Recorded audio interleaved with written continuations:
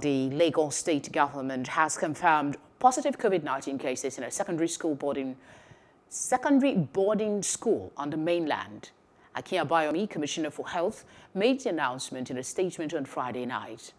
A member of the school staff was confirmed positive to COVID-19 on the 2nd of November. Contact tracing has revealed that a student and four contacts of the staff member are positive to COVID-19. Abayomi noted that the staff fell ill for a few days and received first aid at the school clinic. She subsequently tested positive for COVID-19 on Monday, the 2nd of November at the Lagos State Biobank. The Lagos State COVID-19 Incident Command System, through the Emergency Operations Center, is investigating the incident.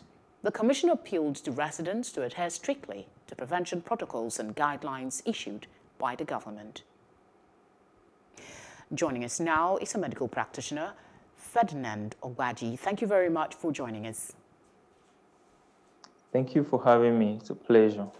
Your quick assessment of our management of COVID-19, especially with this new case uh, that we have in Lagos. Well, I, I think for us, we've relaxed a bit, I would say. It's, it's important for us to notice that the reasons why we've relaxed are actually obvious. The fact that we've known more than we knew before about the COVID 19, the fact that people need to go out and find food to eat, and also the, the, the fact that the case fatality of this virus is low. And then people are no longer as scared of it as we used to be. So we've, we've really let our guards down on this one. We have. Okay, uh, how, how do we ensure the safety of uh, particularly students at this time since schools have resumed. If we have a situation where uh, some of them are prone to, um, I mean, they are exposed to getting this infection, how do we ensure that they are protected while they're back in school?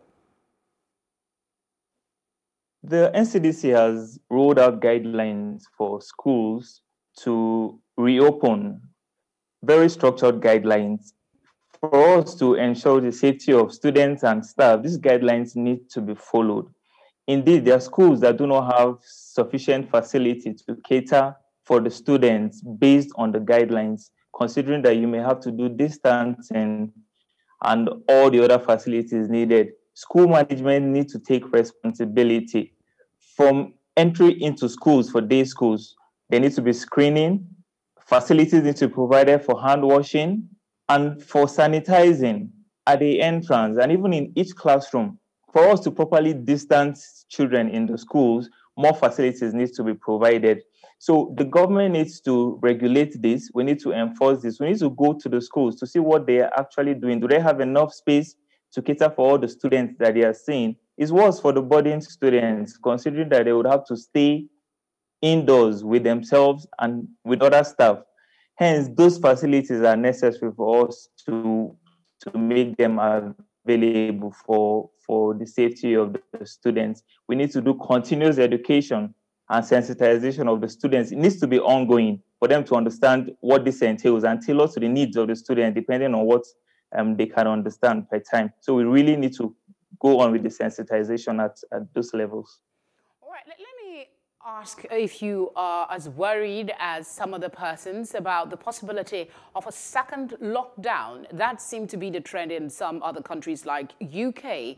Uh, they're having a massive second wave of the virus. I am. I really am worried considering how relaxed we have been for this couple of months now. We, any productive economy should be scared of a second wave of this pandemic. We've lost a lot from the first wave, from the lockdown, the months on end of lockdown, and then the sequelae of it. So I'm really worried of a second wave. We shouldn't be too relaxed because the case fatality is low. If a second wave comes, our already fragile economy would have a nosedive and we'll be in real trouble. So we shouldn't let our guards down too soon yet. We shouldn't.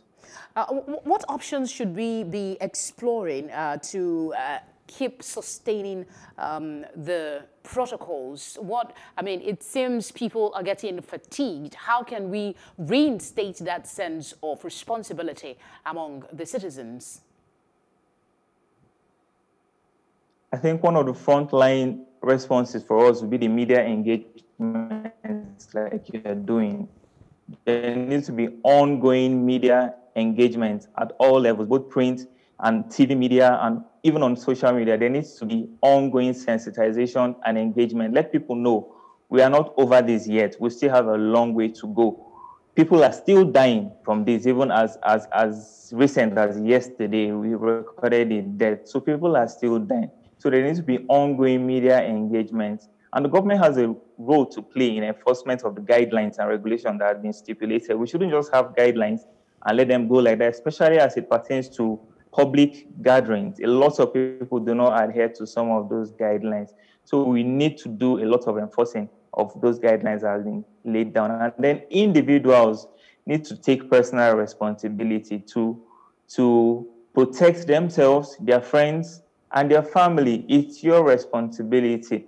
You need to sanitize regularly. You need to avoid gatherings. If you're anticipating large gatherings, you need to go with your face mask. You need to keep the distance where you can. Ventilation right. at homes. Those individual responsibilities, we will be the ones that would feel it. It may be statistic that few people are dying, but if that one or two person is a relative or someone you know, that will be significant to you at that moment. So we need to take that personal responsibility.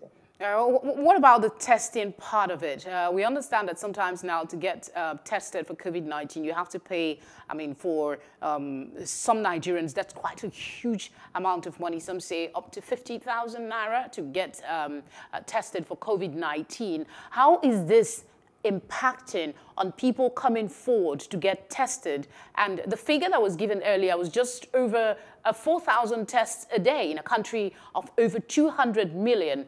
What can the government do at this time to try and tweak this a bit so more people can come out to get tested? Uh, lots of private labs are, are out there doing the testing, yet a lot of government um, sponsored labs are out there also the, the government doesn't expect us to pay for these tests unless if it is on a private ground, perhaps you want to do international travel and all of that. So the government needs to increase the number of labs and the awareness so people are aware of where these labs are and how they can access all of this. Okay. Many people may tend to take advantage of the ignorance of people to make them pay for some tests but ideally, the government have made facilities available such that people do not need to pay for some of these tests at such prices that um, some private labs are asking people to pay. All right, uh, just before we go, your quick thought on the search for a vaccine. Uh, what's your take in 30 seconds, if you can? Perhaps that may be the way out for now. For us in Nigeria, before a vaccine reaches us, we may have a long way to go. So that's why we need to put these preventive measures in place. In the US and some other parts of the, of the world, we may see a vaccine before the end of this year, but it may not get to us until perhaps later next year. So we really need to do what we can do based on the preventive measures and guidelines that we have. All right, Doctor, thank you very much for um, sharing your thoughts with us. Thank you very much. Have a good day.